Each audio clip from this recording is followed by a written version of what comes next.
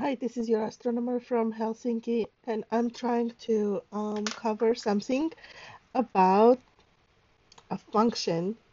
Oh, don't be afraid, those are rainbow functions. I'm uh, working with ChatGPT in doing my spectral reduction and uh, tutorial steps, and I think I need to cover this topic of um, dispersion function is like a rainbow function.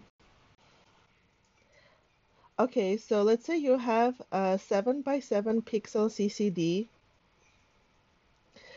and that's all uh, that your CCD uh, knows, that each square represents one pixel. There are 7 in x direction and 7 y direction. The CCD doesn't know anything about wavelengths. Now, I observed my galaxy spectrum. I collected the data with a long slit spectrograph feature uh, where a slit is positioned to capture the light coming from uh, the galaxy. And my galaxy is not a point like a star, it's not a point source, it's an extended feature. And the way I positioned the slit allowed me to um, collect the data on a CCD in y direction for the wavelengths. So the light disperses into different wavelengths across the y or a vertical direction. But the x is my spatial.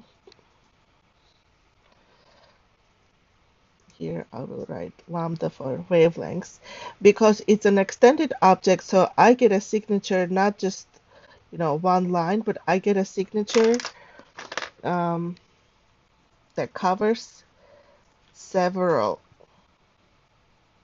maybe less at the ends, pixels.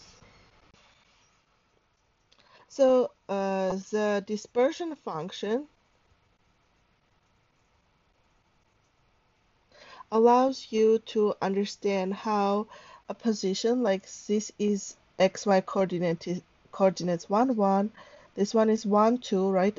X equals to 1 y equals to 2 but what is it in terms of wavelengths? So this is a 2d situation right? So dispersion function will allow you to identify one four pixel what it represents in terms of wavelengths and two four and three four. So your rainbow function gives you a transformation between xy CCD to wavelengths in angstroms.